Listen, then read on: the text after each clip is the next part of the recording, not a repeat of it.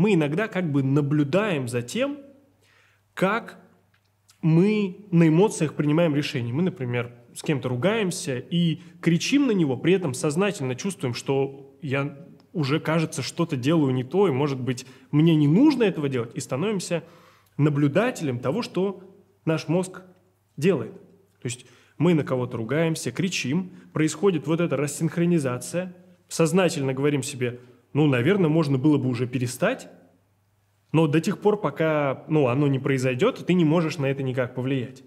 И вот в случае с привычками, например, э, раздражаться или привычка реагировать на что-то страхом, э, это очень явно видно.